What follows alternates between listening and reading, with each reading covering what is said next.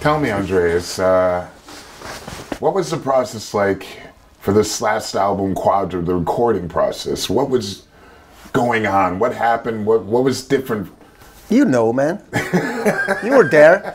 Well, tell me a little bit more about what was going on. I would love to hear. I don't want to share anything, man. I still know. I mean, how? I mean, how is it that you put together such a masterpiece of an album uh, with those incredible guys in your band?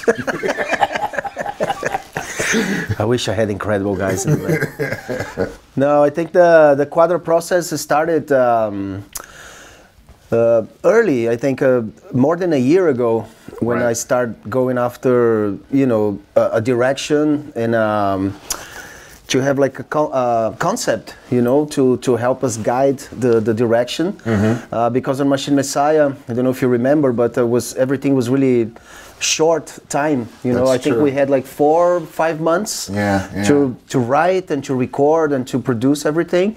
Was very quick, you know, was very demanding. And this time um, I wanted to start earlier, so we have time, you know, to sense. listen to everything and to, to make changes and to make sure that we have the best uh, material to put on the album.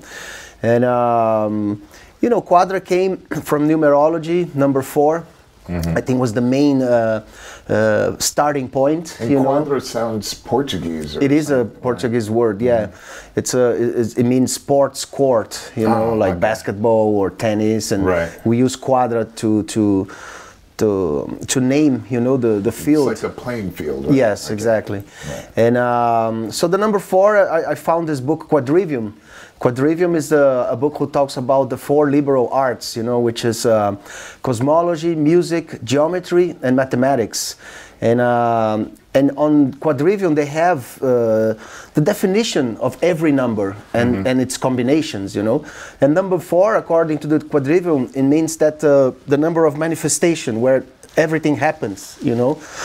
And uh, in a sense, it's the same as Kairos, you know, living the present. You know, number four represents what's happening now. You know, so I thought that was very interesting, and from there, you know, I started to go after. Uh, uh, symbols and icons, you know, Right. that could, who could represent, and Quadra came from that, you know.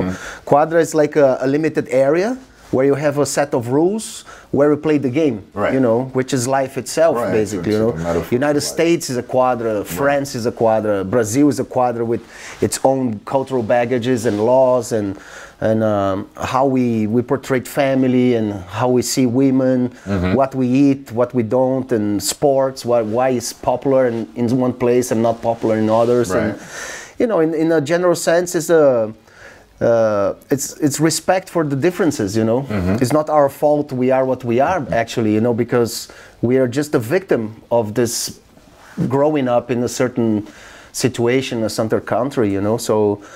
Um so I, I, I passed this idea to the band, you know, to Derrick, Right. to, to to Eloy and Paulo.